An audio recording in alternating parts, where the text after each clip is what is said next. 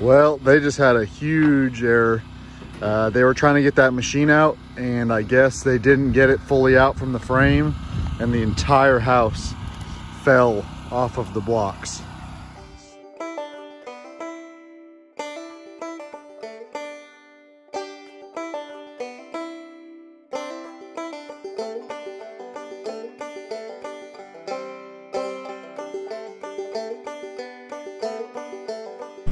Today's day two of getting the house set. Uh, there's a pretty big crew out here today. Uh, what they're doing right now mainly is they got this crazy little machine right here, which I'll show you in action.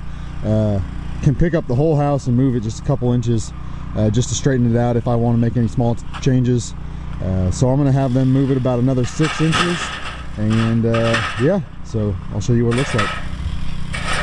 So this crew, what they're doing today, obviously they moved the house over I'm not sure if we took a good enough video yesterday, but you can see that we moved the whole house probably three or four feet to the right. Um, previously, it was sitting like right here. It was really close to the H-frame. It was just really far on this side of the pad. Uh, so I went ahead and have them move it uh, numerous feet. They also straightened it out because it wasn't perfectly level yesterday. Um, but anyways, what this crew mainly is working on today is uh, getting it completely off the wheels. You can see this guy here uh, under the house. He's removing all the wheels. Uh, they're doing the same on the other side. And then they're going to start uh, getting the concrete poured and setting on the blocks.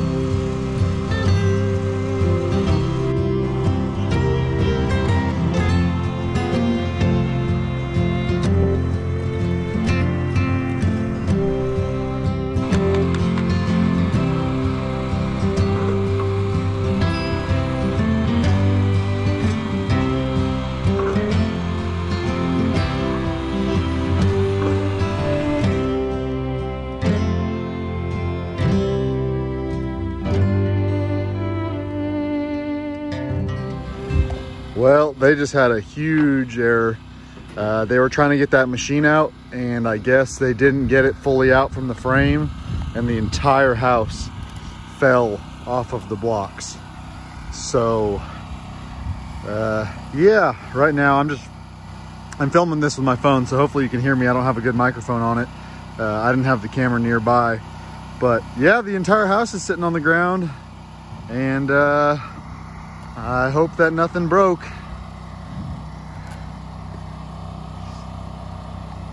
Luckily, nobody got hurt, so that's the good thing. When they were trying to pull out that machine, I guess it didn't fully disconnect from the frame, and they literally pulled the entire house off of the blocks that they had just set. So the whole house is uh, leaning on one side right now, and uh, they're over there kind of in emergency mode trying to fix it with that machine. So uh, kind of unfortunate, but the good thing about solitaire homes is these suckers are really strong. They build them really well. I highly doubt there's any. They're going to be. I highly doubt that there will be anything wrong with the house itself uh, because of how well built they are. But I guess we'll just have to see what happens.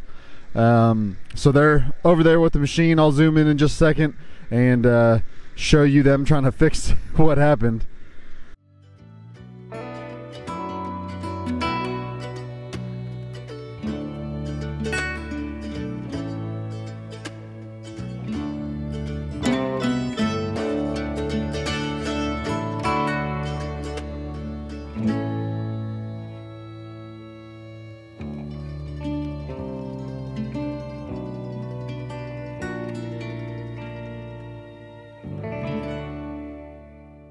All right, well, it looks like they got the house uh, pretty much leveled again. So it's no longer sitting on one side. Uh, it looks relatively level. I think they got it set back on those blocks right there. So I think the house is standing on its own again without that machine. Um, but they're definitely going to have a lot of uh, a lot of corrections to do now. I'm not sure if the house is exactly in the same spot as it was before. Uh, so they might need to use the machine a little bit more and, and fix some stuff. Uh, but we'll get it figured out. Again, it, it's one of those things, you know, accidents happen. Uh, no matter what job or uh, career field you're in, stuff like this can happen, you know. Um, it's just important that no one got hurt and uh, it doesn't seem like the house really sustained any damage that we can tell. So, uh, you know, I, am not gonna, I'm not upset about it. I'm just glad everyone's okay.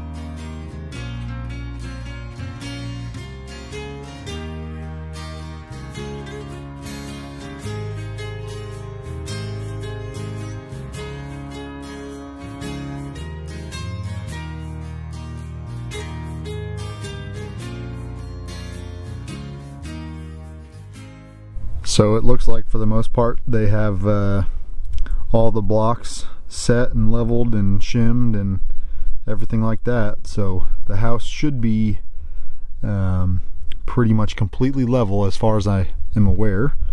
You can see these are the uh, anchors that they tie down to the house. So that anchor goes like three feet into the ground and then there's a strap that goes up to the frame and uh, that helps keep everything secure and level and of course uh, helps if there's any uh, storms with really really high high uh, winds.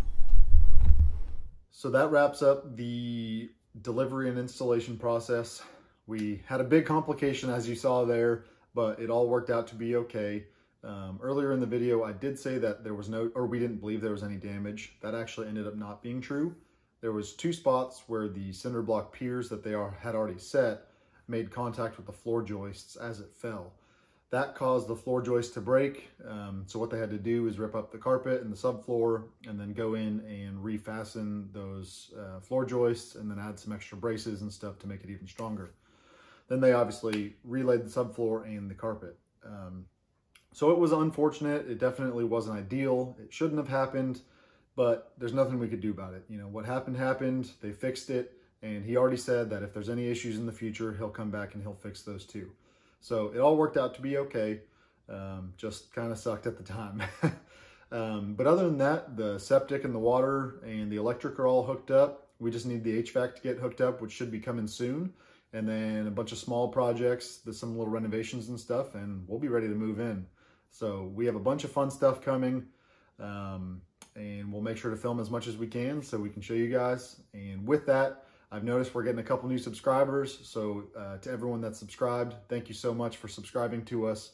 For anyone that's not, if you're watching this, please hit that like and subscribe button. It really, really helps us. We're trying to grow this channel. We really want to make this uh, this channel last and we want to share our journey with you. So make sure you hit the like and subscribe button. And I'm going to show you some drone videos here in a second. Just so you know, I'm not a professional with the drone. Uh, I haven't figured out how to get the quality perfect. It was kind of laggy and stuff, but I still wanted to use it and show a couple video or a couple videos of the house from kind of some cool aerial shots.